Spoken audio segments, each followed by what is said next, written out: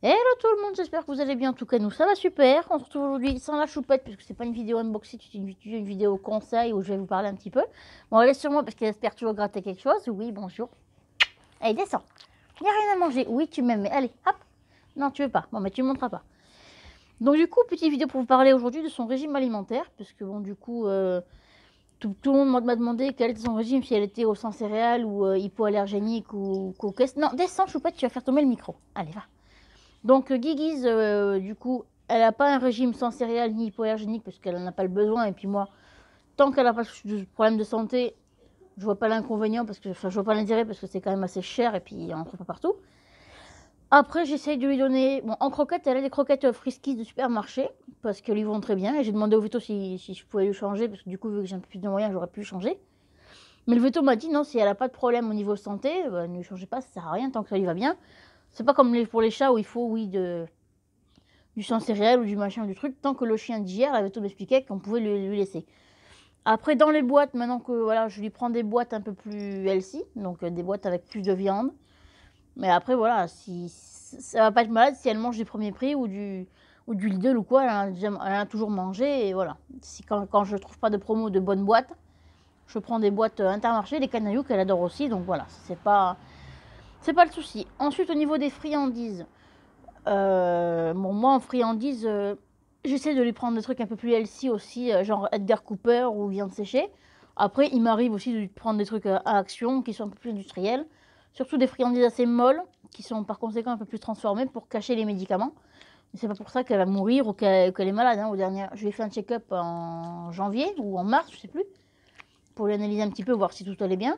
Euh, elle a rien, pète la forme. Donc voilà, petite friandise. Après voilà, j'essaye de, varier un petit peu. Je vous ferai quand j'aurai fini tout mon stock, euh, c'est-à-dire euh, je sais pas quand, une vidéo sur un haul de friandises healthy, donc des biscuits sans, enfin, avec très peu de céréales ou voire pas du tout de céréales, donc avec des fibres et des protéines végétales. Et après, je, vous montrerai aussi tout ce qui est mou, oreille de porc, tout ça à mâcher, que c'est quand même plus sain que, les, que tout ce qui est bâtonné en peau de buffle, tout ça. Mais bon, après, Gizmo, les oreilles, elle aime bien, mais ça la gonfle vite à mâcher aussi. Tandis que les petits bâtonnets, je lui donne et en trois, crocs, c'est réglé. Donc voilà, après, question barf, moi, pour moi, pour Gizmo, je ne le ferai pas parce que c'est un chien qui ne mâche pas. Donc si je lui file des trucs avec des petits os, tout ça, elle va s'étouffer avec, et puis elle va être malade, elle va être encore plus constipée.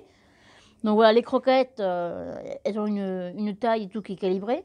Je lui rajoute un petit peu plus de pâté parce que comme je disais, depuis qu'elle a été opérée, elle est souvent constipée.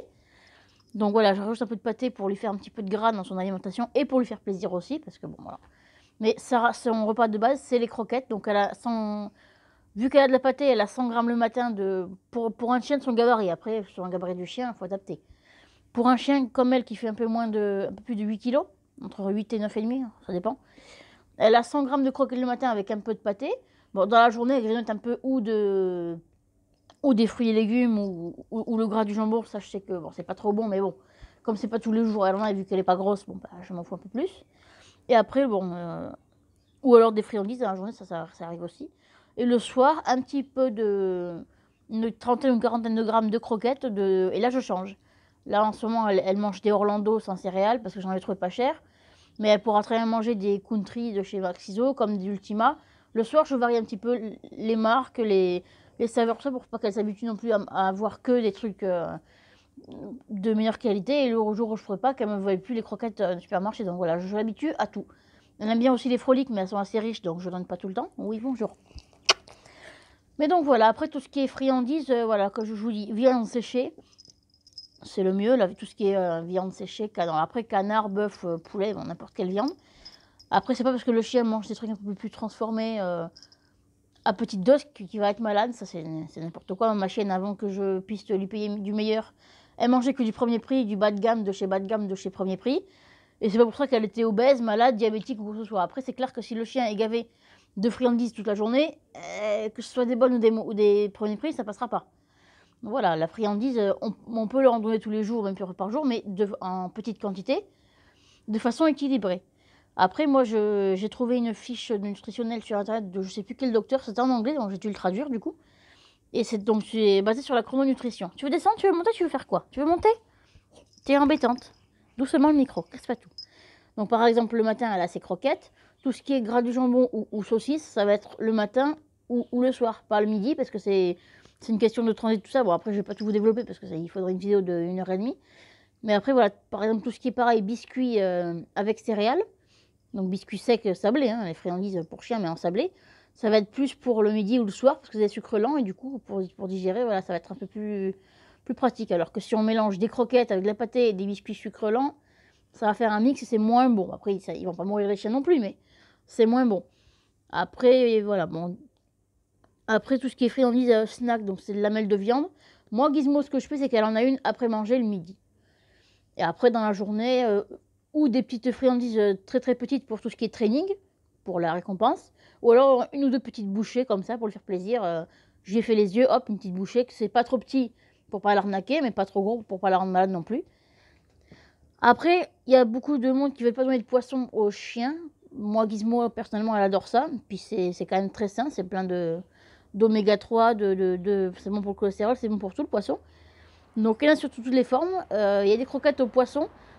Donc voilà, Gizmo, là, elle a testé des croquettes au saumon. Sinon, il y a des petits éperlans séchés ou des lamelles de poisson séchées euh, plus industriellement. Mais sinon, les petits éperlans, c'est quand même le mieux. Donc voilà, les petits éperlans séchés qu'elle adore. Et puis après, il y, a, plein de produits à base de peau de saumon qu'elle adore aussi. L'huile de saumon, moi, je lui en donne, mais moins. Enfin, j'en donne que quand elle est constipée, parce qu'après, ça, ça, reste du gras. Et je préfère lui donner quand même euh, un bon morceau de, de, viande avec un peu de gras plutôt que d'huile de saumon, parce que bon, voilà, elle n'a pas trop besoin de d'huile de saumon, à part quand elle est constipée, parce que pour sa peau, je lui donne la levure de bière, parce que l'huile de saumon tous les jours, ça la, ça la faisait vomir à, la longue, donc euh, voilà. L'huile de saumon, je garde que quand elle est vraiment constipée, pour lui faire du gras, pour la... là, je lui fais des cuirs un peu plus sévères. Après, tout ce qui est fruits et légumes, moi, Gizmo en mange et elle adore ça. Après, pareil, c'est pas tout, enfin, c'est pas tout le temps, et c'est en plus, c'est pas, ça fait pas partie de la ration du chien. Moi, ce que je fais après pour les rations bar, c'est différent. Moi, j'y connais pas, je vais pas vous donner de conseils. Mais voilà, moi, fruits et légumes, Gizmo, elle adore. Alors, salade, concombre, tout ça. Faites attention quand même à n'importe quel fruit et légumes. Il y en a qui sont toxiques. Je vais pas vous faire la liste là parce que ça vous ferait une vidéo trop longue. J'ai déjà parlé pendant une, plombe là, donc je vais devoir m'arrêter. Mais du coup, voilà, les fruits et légumes, euh, c'est assez sain. Après, tout ce qui est poisson euh, frais, c'est-à-dire euh, poisson non transformé pour chien, moi j'évite parce que j'ai toujours peur qu'il y ait une arrête et ça m'arrive tout le temps, même dans les pavés, donc je, ne lui en donne pas. Après, vous, chacun fait ce qu'il veut. Après, la viande, oui, de temps en temps, euh, ou un steak haché, ou... Euh... Après, moi, je donne de la viande sans os parce que madame ne mâche pas, elle risque d'être étouffée, n'est-ce pas? Donc voilà, steak haché, même jambon, euh, saucisse knacky, euh, c'est tout, parce qu'après, les saucisses euh, normales, il y a quand même des épices, donc c'est moins bon. Merguez, ça c'est déconseillé, parce que sinon, ils vont avoir le cucu qui gratte. Oui. Mmh. Mais après, la viande, voilà, j'en donne de temps en temps. Les abats... Alors moi, je voulais donner des abats de sanglier parce que mon grand-père est chasseur, mais le veto m'a dit que c'était déconseillé parce que c'était quand même plus fort et il y avait plus de risques au niveau parasite.